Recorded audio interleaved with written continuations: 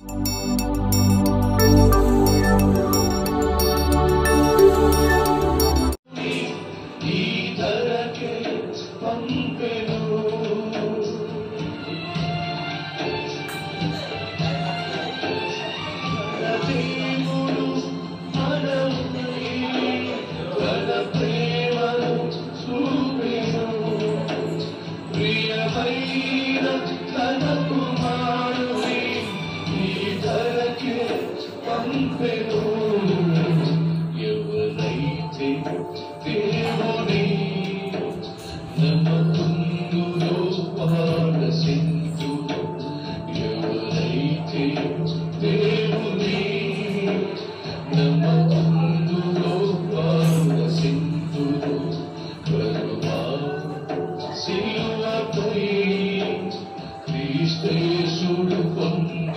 శ్రమలు మనకై సిలువపై మేకులతో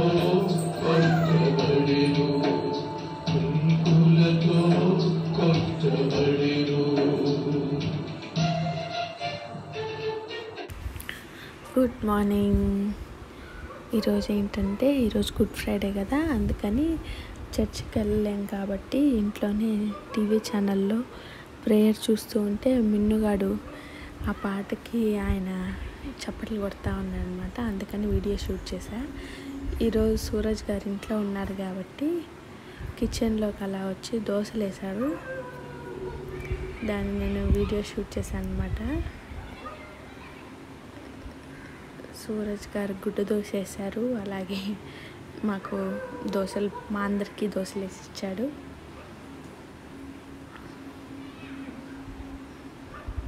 సూరత్ స్పెషల్ అనమాట బయట నుంచి తెచ్చిన పిండితో ఈరోజు దోశలు పోసుకున్నాం. మామూలుగా అయితే ఎక్కువ తేమండి బయట నుంచి. సూరజ్ ఈరోజు మార్నింగ్ బయటికి వెళ్ళాడు. పాపం మాకు పని పెట్టడం ఎందుకు అని పాపం దోశపిండి తెచ్చాడనమాట బయట నుంచి. ఆ దోసపిండితో వేసిన దోశలు ఇవి ఇవి ఈరోజు.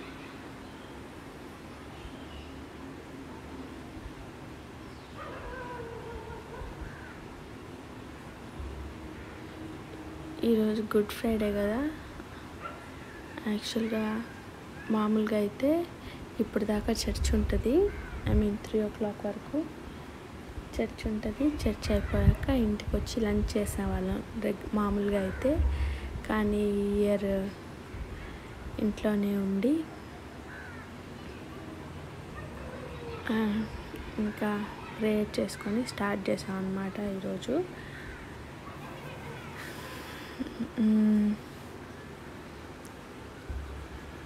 ఆ ఫీలింగ్ ఉంటుంది కదండి చర్చికి వెళ్ళలేదు అని. అది మాకు అనిపించింది. పండగకి పండక్కి చర్చికి వెళ్ళలేకపోయాము అని.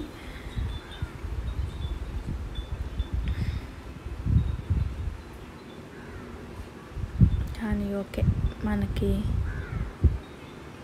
తప్పదు కాబట్టి ఇది మన మంచి కోసమే కాబట్టి ఏం పర్వాలేదు. ఈ ఇయర్ కాకపోతే నెక్స్ట్ ఇయర్ బతుకుంటే నెక్స్ట్ ఇయర్ కూడా నెక్స్ట్ ఇయర్ అయినా లైఫ్ అంతా వెళ్ళొచ్చు కదా బతుకున్న రోజులు.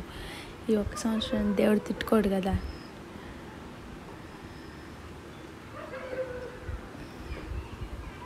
సూరజ్ గారు ఈరోజు వంటింట్లోకి వచ్చి హెల్ప్ చేశారు. అలాగే ఈరోజు మాకు కేసర్ కావాలని అడిగాడు అనమాట యాక్చువల్గా నేను కేసర్ ఎప్పుడు చేయలేదు. మళ్ళీ మా పద్మత్తమ్మని ఫోన్ చేసి అడిగి కనుక్కొని చేసామన్నమాట మా పద్మత్త వంటలు ఎక్స్పర్ట్. వంటలు భలే చేస్తుంది అత్తమ్మ. ఎంతమందికైనా చేసేస్తుంది. అది అది సూరజ్ వేసిన గుడ్డు దోశ అనమాట ఇప్పుడు నేను మీకు కేసరి రెసిపీ కూడా షేర్ చేస్తున్నాను. మీరు ట్రై చేయండి. అంటే అందరికీ వచ్చుంటుంది. ఇది కొత్తగా ఉందన్నమాట. కేసరిలో పాలు పోస్తారని నాకు తెలీదు. అత్తమ్మ పాలు కూడా పోసి చేయాలని చెప్తుందనమాట ఫస్ట్ అయితే మనం గిన్నె పెట్టుకొని దాన్ని వేడి చేసుకొని నెయ్యి వేసుకోవాలి.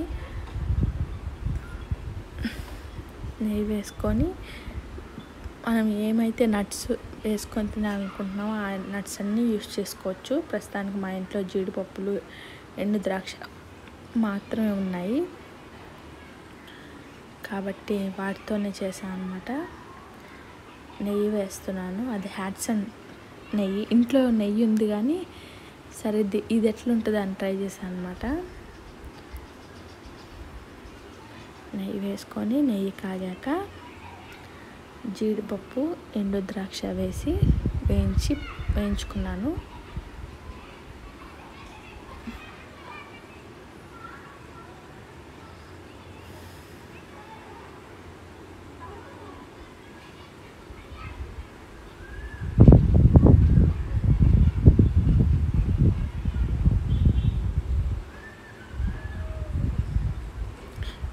ఇంకోటి ఏంటంటే ఉప్మా రవ్వ వేస్తాం కదా మనం.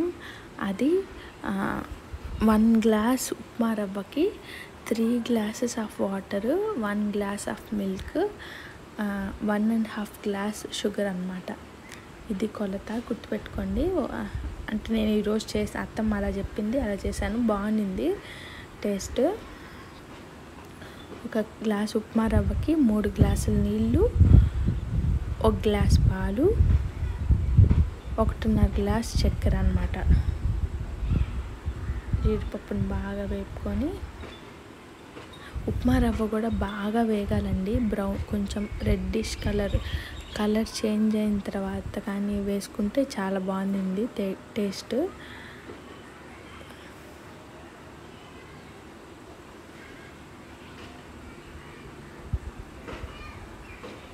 జీడిపప్పు ఉప్పు ఎండు ద్రాక్ష వేయించుకొని దాన్ని తీసి పక్కన పెట్టుకొని అదే దాంట్లో నెయ్యిలో ఉప్మా వేసి బాగా వేపేసుకొని దాన్ని పక్కన పెట్టేసుకొని నెక్స్ట్ కొంచెం ఆయిల్ వేసుకోవాలి. మనం ఏ ఏ ఆయిల్ యూస్ చేస్తున్నా ఏదైనా మన ఇష్టం సన్ఫ్లవర్ యూస్ చేశాను నేనైతే.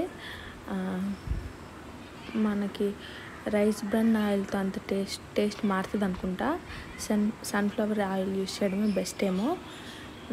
ఆయిల్ కొంచెం వేసి దాంట్లో ఆ ఆయిల్ కొంచెం కాగాక త్రీ గ్లాస్ ఆఫ్ వాటరు ఒక గ్లాస్ మిల్క్ వేసి మూత పెట్టాను అనమాట అది బాయిలింగ్ పాయింట్ వచ్చేంత వరకు. అది బాయిల్ అయ్యాక మనం వేపు పక్కన పెట్టుకున్నాం కదా ఉప్మా రవ్వ. దాన్ని ఎత్తి దాంట్లో వేసేసి బాగా కలుపుకోవాలి. ఉప్మా రవ్వ దగ్గర పడేటప్పుడు అది పైన పడుతుందండి. అందుకని నేను మూత పెట్టి కవర్ చేశాను. మీరు మీ అంటే నేను ముందు చెప్పేస్తున్నాను రెసిపీ స్లోగా వెళ్తుంది. అందుకని అది దగ్గరకు వచ్చేటప్పుడు మూత దగ్గర పెట్టుకొని లేకపోతే అది మన మీద పడుతుంది అనమాట ఉప్మా రవ్వ ఉడికి బాగా ఉడికేటప్పుడు. అది కొంచెం దగ్గర అయ్యాక అప్పుడు one and half cup sugar తీసుకుంటాం కదా. దాన్ని వేసేసుకొని బాగా కలిపేసుకొని మర్చిపోయాను. ఆ ఆ పాలు నీళ్ళు పోసేటప్పుడే యాలకులు యాలకులు కానీ యాలకులు పొడి కానీ వేసేసామంటే మనకి మంచి అరోమా వస్తుంది. ఆ, వాటర్లో యాలకులు బాగా బాయిల్ అయ్యి మంచి అరోమా వస్తుంది అనమాట లాస్ట్లో వేసుకోవడం కన్నా ఇది బాగుండింది టేస్ట్. స్మెల్ ఎసెన్స్ ఏం వాడలేదు కదా. మామూలుగా అయితే ఎసెన్స్ కూడా వాడతారు. పైనాపిల్ ఎసెన్స్ అవి ఇవి ఉంటాయి కదా. కానీ ఈసారి మనకి ఎసెన్స్ లేదు కాబట్టి యాలకులు యాలకులే వేసేసాను. ఆ వాటర్ బాయిల్ అయ్యేటప్పుడే దాంట్లో వేసేస్తే మంచి అరోమా వచ్చింది. ఇంకా ఉప్మా రవ్వ అంతా దగ్గర పడిపోయాక షుగర్ వేసుకొని తిప్పేసుకున్నాక ఇంక దించుకునే ముందు జీడిపప్పు అండ్ ఎండు ద్రాక్ష వేసుకొని దించేసుకోవడమే. అయిపోతుంది.